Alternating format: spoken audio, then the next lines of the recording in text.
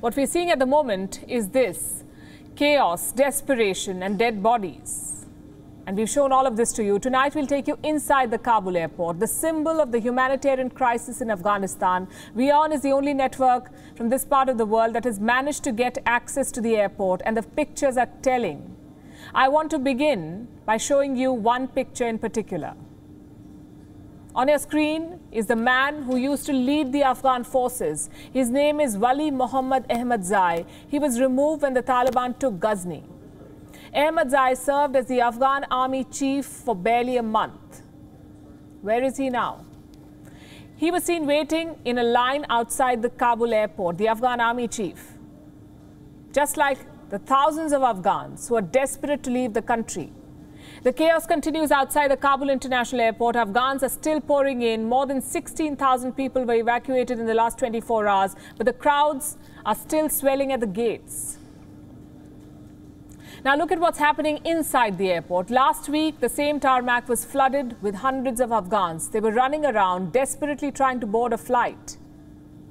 None of that now. The American forces have taken complete control of the airport alongside their Western allies. They control the entry points.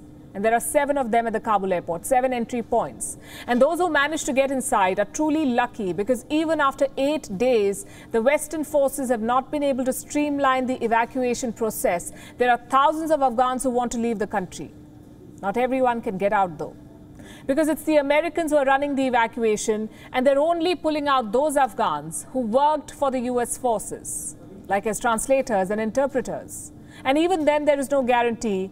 Afghans cannot just walk into the airport to claim a seat on a flight, even those who fit the US eligibility criteria. They can't just walk in.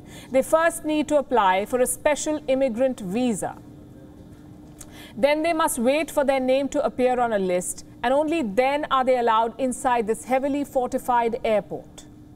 Having a visa is no guarantee of entry.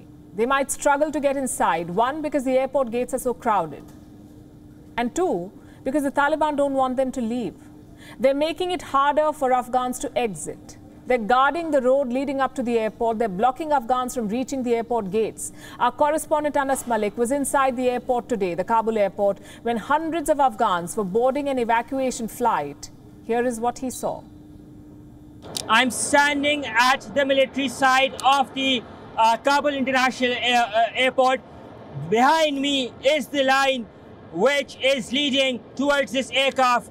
Uh, to my left is the aircraft which is there and people in numbers, hundreds in hundreds are leaving today. These are the passengers, 261 uh, are on board on, of this aircraft. All of them are Afghans in hope, in despair, uh, the, to flee to a safer destination.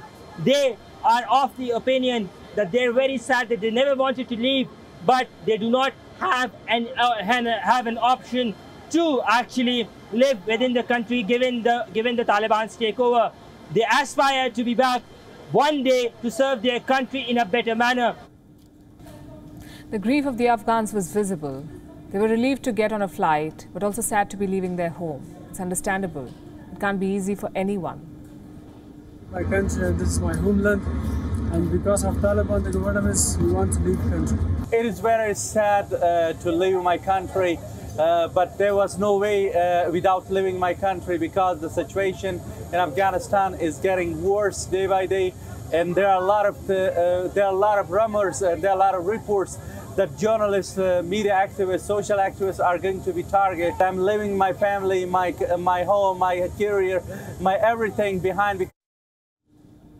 Those voices echo what millions of Afghans are feeling today. They're lucky to have a chance to flee. About 50,000 foreign nationals and Afghans have managed to leave so far, while thousands more are waiting, desperately looking for a way to get inside that airport.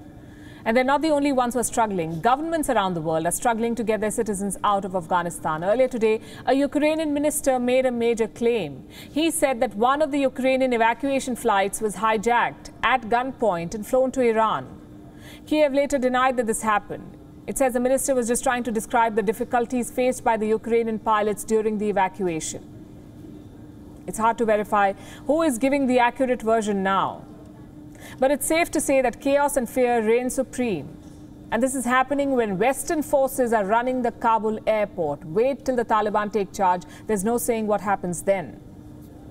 WION is now available in your country. Download the app now and get all the news on the move.